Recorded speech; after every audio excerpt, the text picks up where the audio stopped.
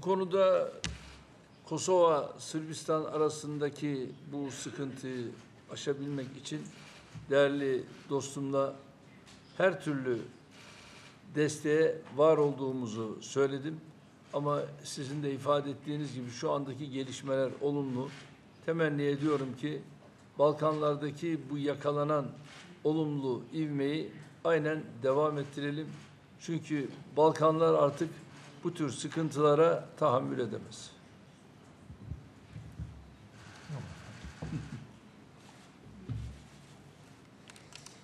Her şeyden önce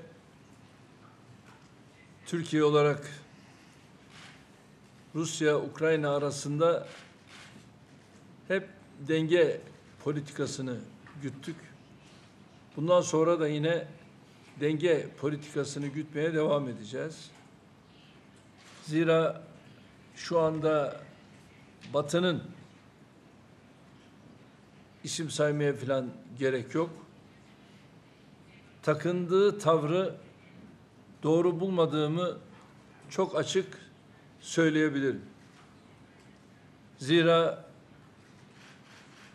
tahrik üzere kurulu bir politika güden Batı var. Böyle bir savaşı tahrik üzere yürütmeye gayret ettiğiniz sürece oradan netice almakta mümkün olmayacaktır. Nitekim şu anda bu savaşın kazananı var diyebilir miyiz? Bu savaşın kazananı yok. Ama ben inanıyorum ki kaybedeni çok. Bunca insanlar ölüyor. İşin parasal boyutunu konuşmaya zaten gerek yok. E, parasal boyutuna da girdiğimiz zaman söylenen ne? Birisi diyor ki ben Ukrayna'ya şu kadar parasal destek verdim. Öbürü diyor ben şu kadar destek verdim. E, peki nerede bu para? Bu da sadece laf ola beri gele. Tercümeleri inşallah doğru yapıyoruz. E bu da sıkıntılı. Ve silahlar gönderildiği söyleniyor. Ne kadar hurda varsa bu hurdaları Ukrayna'ya gönderiyorlar. E işin bu boyutuna baktığımız zaman ben Rusya bu işin galibidir veya Ukrayna bu işin galibidir diyemem. Ama şu ana kadar bizim güttüğümüz politika acaba bir an önce Rusya Ukrayna arasındaki bu savaş biter mi, bitmez mi? Biz bunun gayreti içerisindeyiz. Ama görünen o ki çok kısa zamanda biteceğe de bu iş benzemiyor. Ama Rusya'yı hafife alanlara da söylüyorum. Yanlış yapıyorsunuz. Rusya hafife alınacak bir ülke değil. E ne oldu?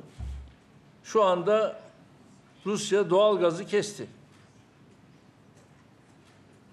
Fiyatlar bir anda Avrupa'da yükseldi. E şimdi herkes kara kara düşünüyor. Bu kışı nasıl atlatacağız? E bunları daha önce niye düşünmediniz? Elinde bu kadar önemli bir değer var Rusya'nın. E bunları daha önceden düşünmeniz gerekirdi. Ama bunları daha önceden düşünmediniz. Ve şu anda stoklar ne durumda diye bunun konuşulması, bunun tartışılması yapılıyor. E burada tabii ki Rusya herkes ona saldırınca o da elindeki imkanlarını, silahlarını ne yapacaktır? Kullanacaktır. Olay bu kadar basit.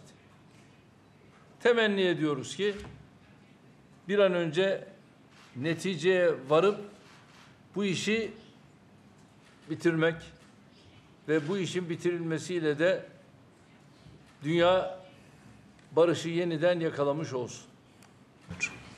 Hvala predsjedniče, hvala predsjedniku Erdoganu, dragi kolege. Dragi kolege, hvala vam. Ovim je današnje obraćanje završeno. Hvala.